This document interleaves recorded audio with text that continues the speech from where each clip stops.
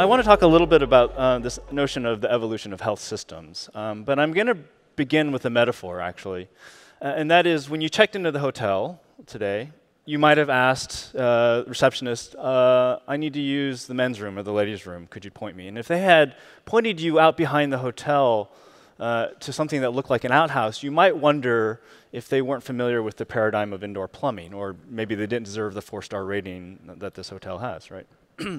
if you'd gone back and said, hey, I need to send off a few messages while I'm here, I need to communicate um, with my coworkers, and they handed you a carrier pigeon, you might also wonder just exactly where you were and whether or not they were familiar with modern technology.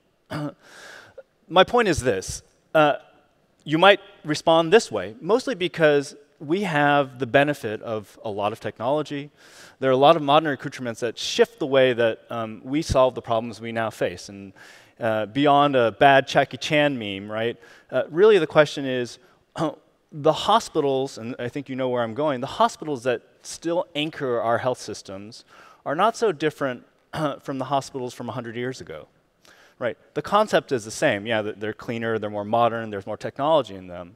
But they're still anchored in a really fundamental foundation about where our health problems were as a society when hospitals first arose and their inability to shift um, in the modern day. So, um, this is a bit of an unusual position for me to stand on stage and not to be talking about technology or the new breakthroughs in science. Um, I actually spent uh, uh, nearly two decades uh, at a design firm, a global uh, design innovation firm called IDEO. I ran the healthcare business there up until about five years ago. Uh, and that was my life. I took remarkably groundbreaking science and technology, uh, from the universities that surrounded me in, the, in, in Silicon Valley and applied them uh, to the health problems that we saw in front of us. And I realized after working there for the better part of you know, 12 years, I was really only working on the edges of the dysfunction.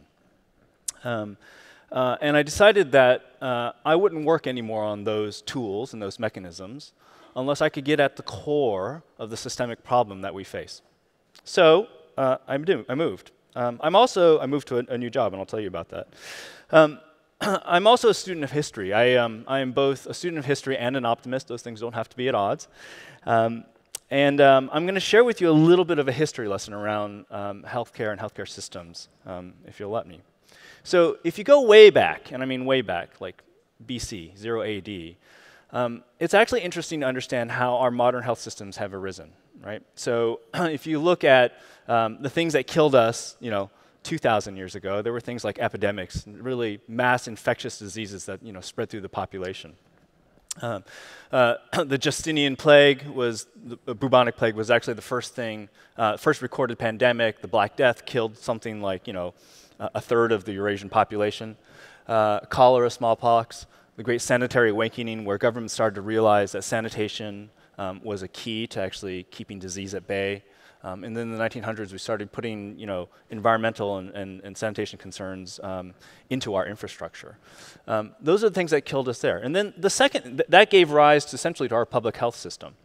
Um, and then if you look at uh, the red line called health of economic drivers, I kind of hate to call it that, um, but it is called that because um, hospitals, which were the response to that need, were actually originally derived and built um, to ensure uh, the viability and health of slaves and of soldiers, which were economic drivers of that time. You wanted to ensure that your investment in slaves, which was your workforce, um, uh, that they stayed well so they could continue to serve you, and that the, the soldiers you put on the war, uh, on the field, eh, on, on the battlefield, um, remained viable. And so you developed these field hospitals to solve for their traumatic injuries and hopefully put them back into service. Um, much later in the 1900s, we started putting together voluntary general hospitals for the physically ill and then public institutions um, for the mentally ill. Um, it's important to remember what we used to call those. Um, we used to call those infirmaries. That's where we hid the ill, the physically ill, and we called them asylums, where we hid the mentally ill. Uh, much later in the 1800s, the first smallpox vaccination with Edward Jenner. Um, and then uh, Louis Pasteur develops the first attenuated uh, vaccine for rabies, and that begins our public vaccination efforts. Um, it wasn't really until the beginning of the 20th century they started paying attention to health of actual human individuals. These were mostly systemic interventions, right? Sanitation systems, hospitals, meant um, uh, vaccinations. They never treated any individual as an individual entity, something that needed to be um, addressed uh, and, and uh, facilitated as a human being. So our responses then look like this, right? Public health systems. Um, I'll call it acute sick care. They, they manifested in hospitals originally, now clinics, um, vaccines, and, and, primary care. That was our societal response to the things that made us ill, you know, uh, uh 2,000 years ago and even um, 200 years ago.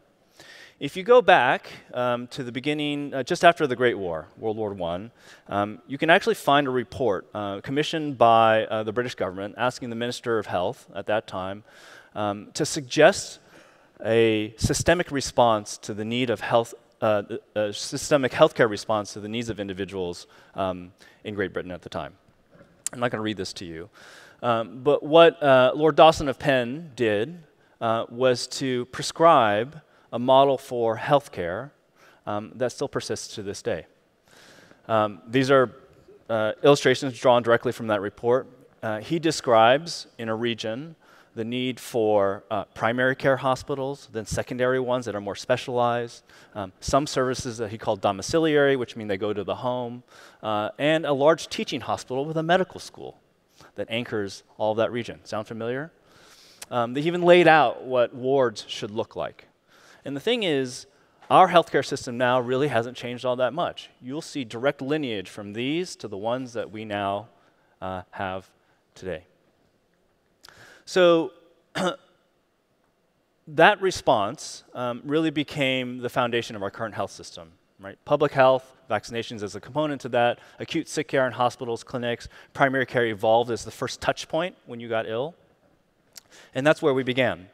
Um, they really were two systems one of prevention before anyone manifested with illness, and then systems of reaction after someone was acutely ill enough that they needed intervention. That was the basis uh, of our healthcare system, and, and, appropriately, given those are the things that um, most likely made us ill or killed us. Um, but actually, uh, because we've made pretty substantial progress on these, uh, the rise of antibiotics, of vaccinations, our ability to treat traumatic injury, um, those things don't actually make us ill. They don't really uh, kill us nearly as much as they did 100, 200 years ago. Um, and as a partial consequence of that success, of the advancement in science and in practice, uh, the modern nature of disease and mortality has changed quite a bit. Today, the things that make us ill are really chronic diseases, right? They're rooted in social and behavioral and genetic factors diabetes, cardiovascular disease, cancer, depression, suicide, mental illness. Those are the things that make us ill. And those things don't get solved in the healthcare systems we have now. You don't walk into a clinic, get an injection, and, and magically not have diabetes anymore. It doesn't work that way. Like, you can't get a three day stay and not be obese anymore.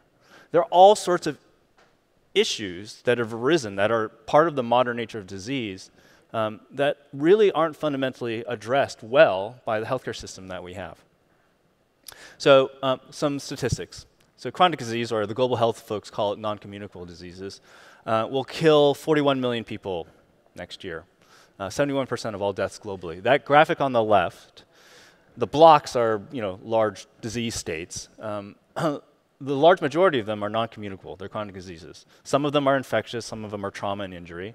If you look at low socio-demographic uh, index countries, uh, the balance is still uh, shifted towards um, infectious disease and injury because they have poor infrastructure generally. But the things that really kill us now are very, very different than the ones that killed us 200 years ago. The nature of disease has changed.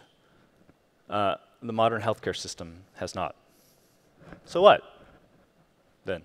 Or so what then, right? What, what should we do about that? Um, you know, the sad part is in healthcare, we really never get the opportunity to design a new model that really embraces wholesale change. We never get the proverbial blank slate.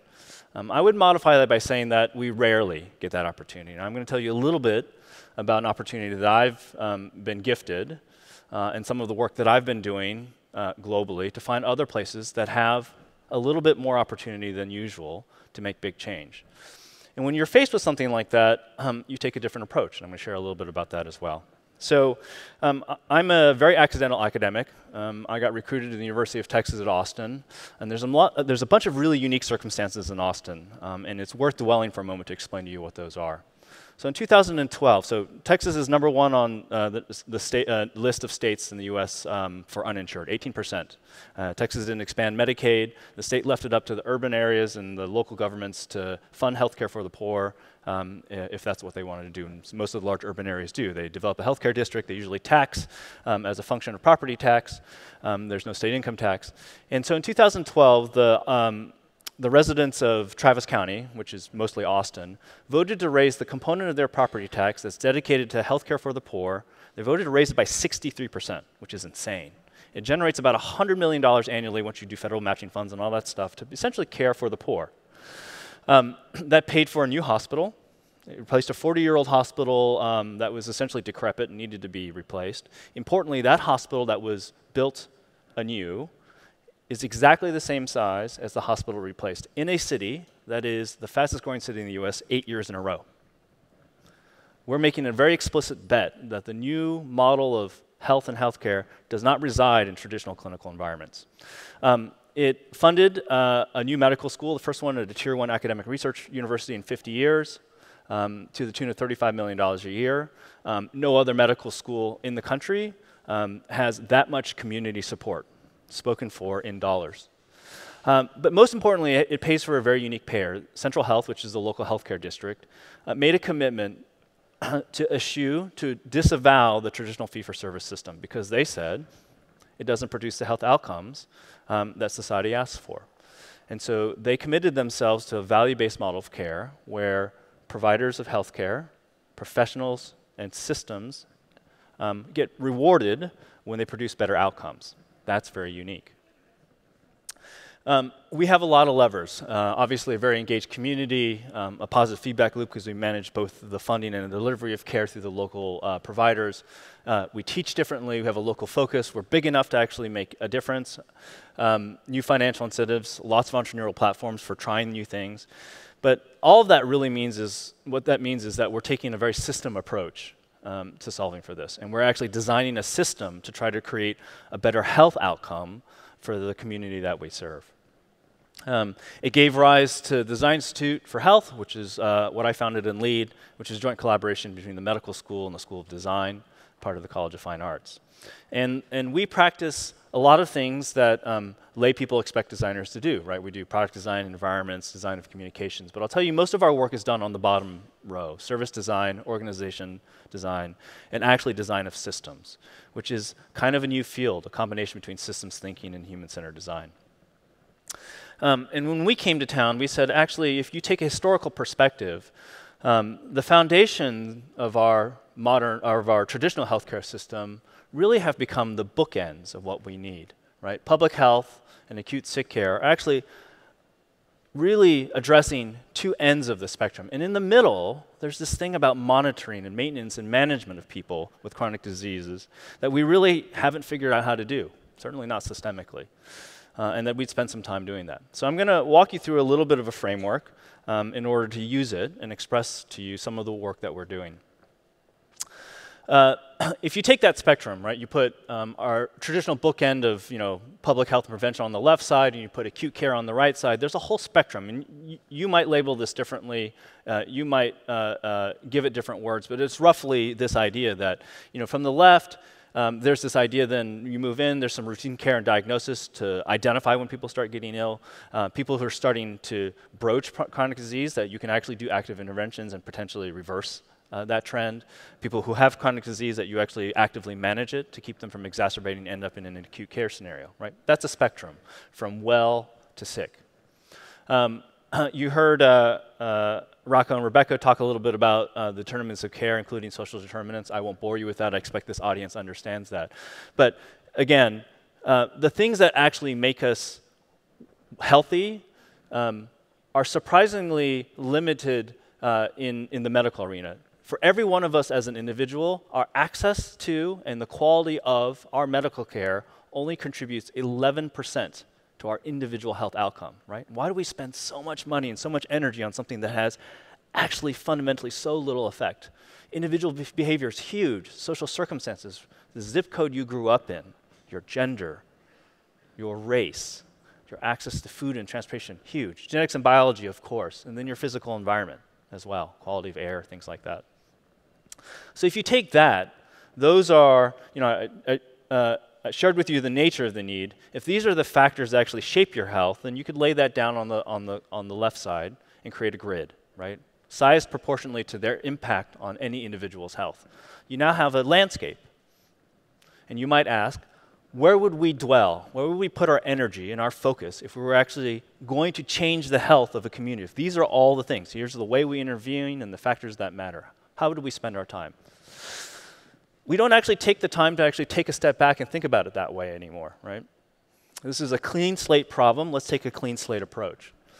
Um, the traditional health system sits in these blocks, right? Woefully inadequate to address the broad landscape of issues that actually address health in community and society. Okay.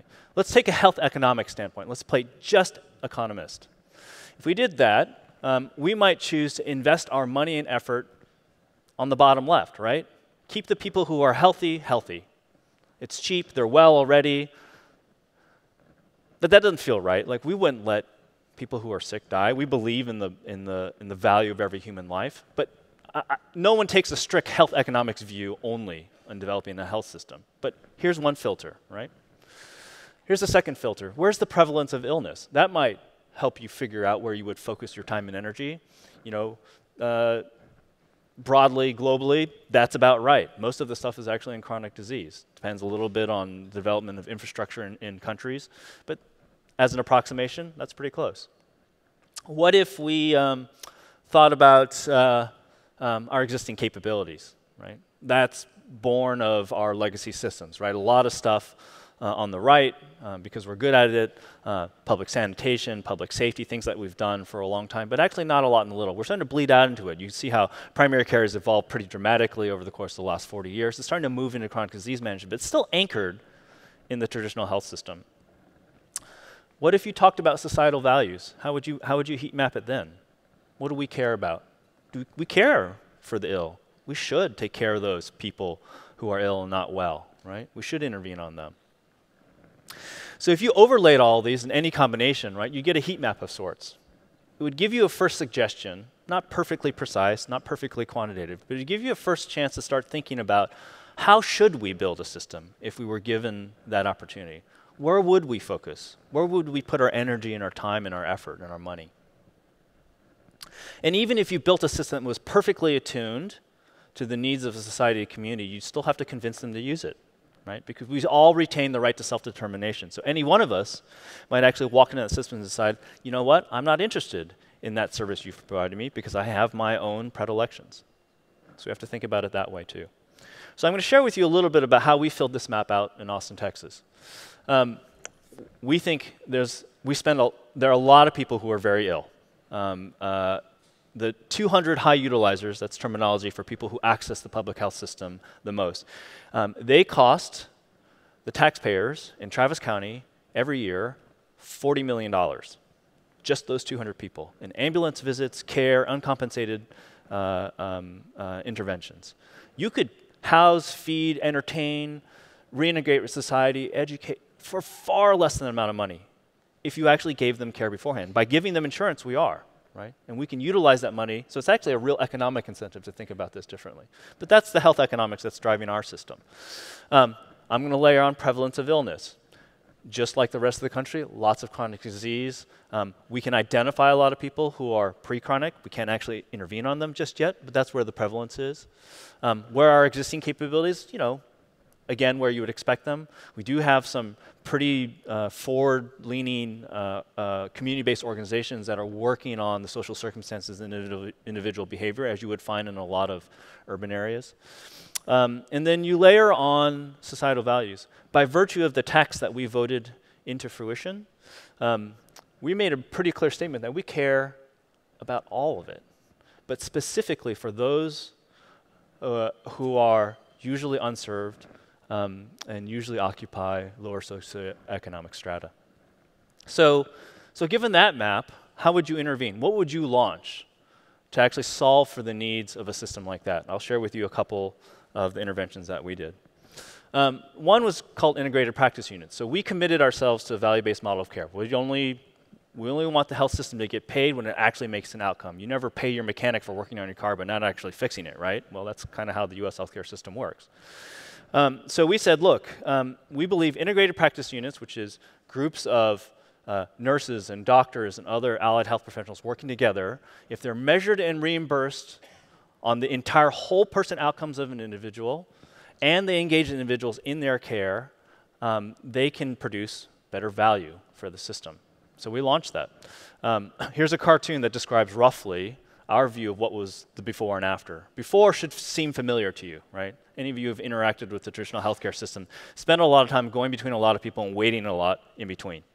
Um, we believe that um, actually, if you bring an individual in, um, you give them some agency, and you give them every resource they could possibly need to affect all of their health needs medical providers, mental health, social workers, financial counselors, nutrition, exercise, that we might actually have, stand a better chance of identifying the things that actually affect them, and we actually might make a bigger difference. When you come to our clinics, you don't get 10 minutes, you get anywhere from 45 minutes to an hour and a half. We might actually get through history and physical, diagnosis, imaging, read of the image, and actually even a procedure if that's what you need. Um, uh, we eliminated the waiting rooms. There are no waiting rooms in our clinics. Um, when I told the dean, I said, if you want us to work on this, I'm going to ask you one thing, which is just declare from the mount there will be no waiting rooms. He's like, I've never seen a clinic without a waiting room. I was like, that's great. Just because you haven't seen it doesn't mean it can't exist. I'm pretty sure Toyota Motor Company doesn't warehouse its parts. It does just-in-time manufacturing. We don't have to warehouse our patients. Cool? He's like, all right, it's up to you then. So we did. So we got rid of the waiting rooms. Um, this is the entry to our medical clinic. It looks more like an airport concourse. Uh, it's disorienting is the way most people describe it because they expect something very, very different. Uh, we took on a very different approach. This is a layout of one of the clinic modules. They're all the same for every single specialty we do. We took on this notion of a front of house and back of house. In a restaurant, you don't see a chef cutting the head off a fish from the dining room, right? When you go to a theater, you don't see someone running the pulleys for the sets. There's a reason for that.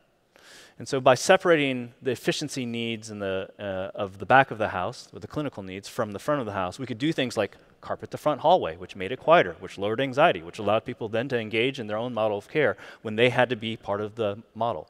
We ask patients to actually identify their own goals. We measure ourselves by the accomplishment of those goals, and we ask them to participate by reporting their outcomes. It's a fundamentally different model. Um, we designed the clinics so they look differently. Um, uh, uh, they, we, we, you know, really simple things like providing seating so that uh, uh, doctors and nurses don't tower over the, over the patient and intimidate them. We designed the back of a house so that people overlap and they interact because it turns out better communication, we can't prescribe, but we can enable. And when they actually run into each other, they remember to ask each other about the things that they need to know about the patients they're caring about. That model's been uh, incredibly uh, successful, uh, not just from an outcome standpoint, but our net promoter scores sit in the low 80s. I think uh, Netflix or Costco is barely in the 60s, so I, we're doing pretty well. Um, I would say mostly we're doing that well because the bar is really low in healthcare. Um, we uh, are working on a, a model um, that we call integrated hyperlocal care. So um, uh, we believe that if you take uh, if you integrate uh, medical, dental, mental, and social service provisions uh, in a hyper-local model that actually goes through the front door as opposed to just up to the front door or require someone else to come to your door, that you might actually have a bigger effect on the care um, of those with chronic disease. So the original public housing project in the US is actually located in Austin. Um, when the New Deal established public housing authorities, Austin was the first to apply. Um, this is uh, one of uh, the first one in Austin. It's called Chalmers Courts. It's, uh, it's exactly what you would expect um, uh, a government would build uh, for public housing in the 40s. It's basically a miniature version of like uh, suburban housing from the 40s with a stoop and a backyard and all that. Well, it's getting torn down and getting rebuilt because it's decrepit, uh, and, and we're building higher density housing. Um, but in the midst of that, we're building a 5,000 square foot uh, um, clinic that includes mental, dental, medical, and social service provision, including through the door services, because we think we can actually make a bigger difference if we lower the hurdles to that care. Um, we're working on social medical integration. Uh, we believe that actually centering uh, community around uh, the places they already go and destigmatizing the medical care that comes along with that um, can produce better disease care. Uh, in a little town just north of Austin, um, we're taking an 80 year old school building and combining Meals on Wheels and a Head Start program for kids with medical interventions that everyone in that neighborhood takes advantage of. Um, we believe that social interventions, interventions can actually have positive health outcomes. There's in, uh, in another um, uh, locale on the east side of Austin, um, uh, they built uh, 300 units of public housing affordable public housing, we are funded to actually develop uh, just social interventions and measure the health outcomes that those change. Um, we believe that mental health um, shouldn't be separate from physical health. Uh, we are working on uh, the Austin State Hospital redesign. Uh, we believe that it's less costly when patients are in crisis, which is pretty much the only way people interact with the public mental health system. Uh, the Austin State Hospital is a single asylum that was built as that, uh, which services uh, up to 75 counties across Texas, from the Rio Grande all the way to the eastern border. That's something like a fifth or a sixth of the Texas population. Um, the problem is the traditional mental health system usually works this way. You show up and you, um, in the public mental health system in two ways.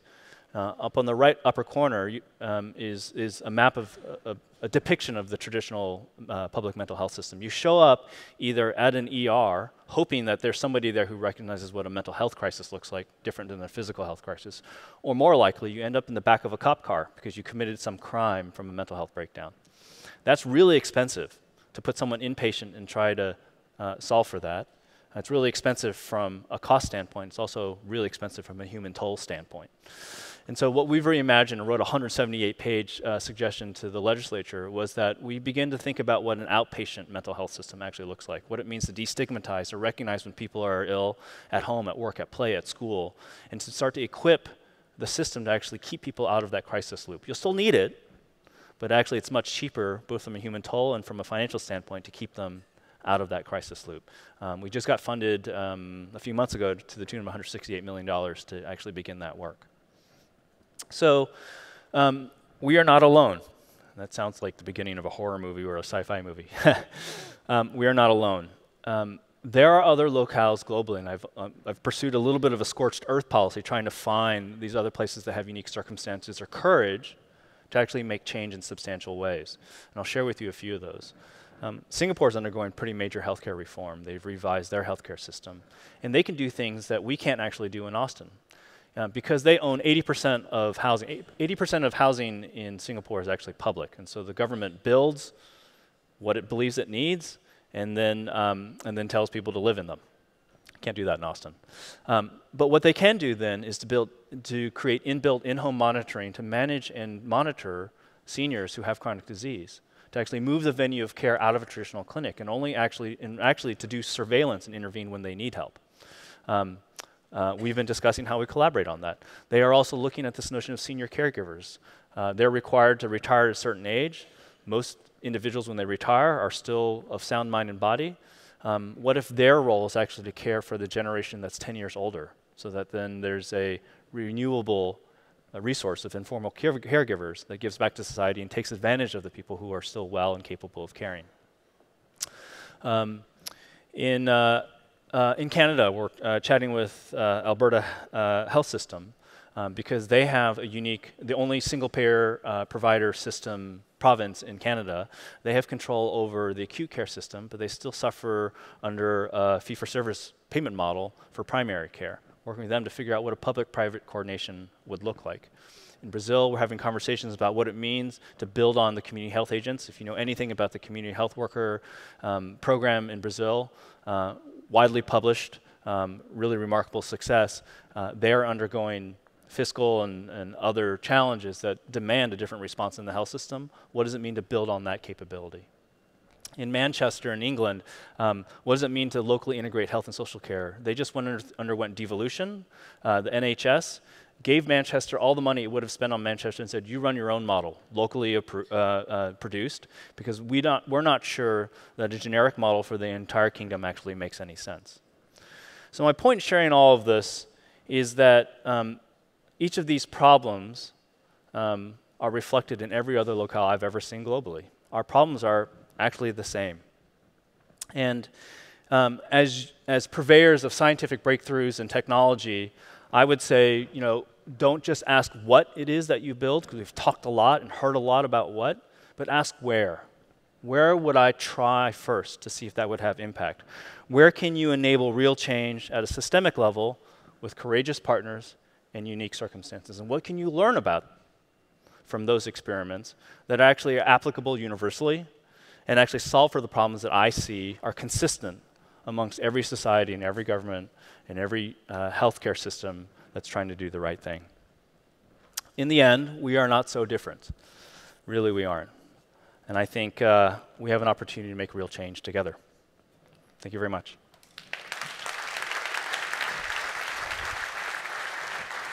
Okay, so as Rebecca and Rocco said, it's important the questions that we ask. Yeah. All right. So, in the decision making and the discussions, who's not there that needs to be? Oh, wow. I'll tell you who's most obviously missing. Um, patients, of course, often Right. the, the, the real human, heroes, the the human real- individuals we yeah. call patients. The But experts even, in the condition. but even more so than that, in medical anthropology, we have this term. It's called household production of health. Right? Health, health is actually produced a household at a time, and there's actually one individual in that household who usually holds the key to that production of health. And that's usually the adult daughter, the mom, right? The person who's caring for the kids, usually kicking their spouse to the doctor for his annual visit, and actually usually caring for both sets of aging parents. You know, I hear in healthcare systems all the time people saying, "Oh, we don't have enough resources," to, and you've got a free resource that's willing to work for free, is hugely motivated to produce health in that health in that in the household, and we never leverage them. So, hashtag educate the eldest female child in every household, right? Amen. And the most important question when you're in Austin, best place to get breakfast tacos? I'm gonna get a lot of trouble. Me, Torchy! no, Torchy's.